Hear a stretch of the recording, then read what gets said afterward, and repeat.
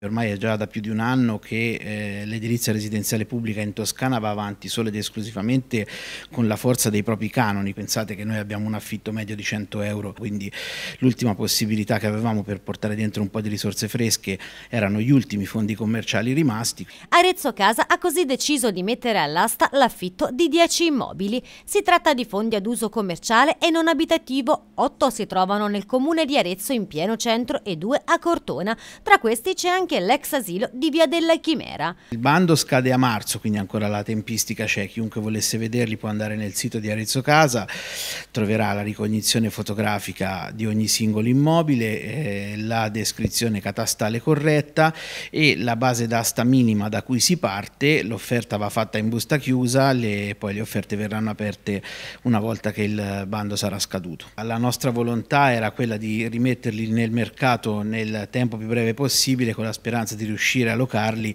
eh, perché poi quello che riusciamo a introitare da questi affitti poi viene riversato nella manutenzione eh, che facciamo delle, delle, case popolari, quindi queste per noi sono energie fresche che ci danno una mano a portare avanti la nostra mission. Un'iniezione di risorse fondamentale in questo momento storico. Ormai da un anno infatti Arezzo Casa non usufruisce più di alcun finanziamento statale, regionale o comunale. Anzi Arezzo Casa eh, paga ai comuni un canone concessorio eh, che al netto della rivalutazione oggi è arrivato quasi a 340 mila euro, tutti i soldi che purtroppo vengono sottratti alla, alla manutenzione, quindi è diventato veramente, veramente difficile. Non c'è mai stato storicamente eh, nel, nella storia della Repubblica un momento così difficile per l'edilizia residenziale pubblica. In Toscana, secondo un recente studio di nomisma elaborato per Cispel, le domande innevase di case popolari riguardano oltre 17.600 famiglie, mentre in un anno ne vengono assegnate in media poco meno di 1000. Per assorbirle tutte dunque occorrerebbero 17,6 anni.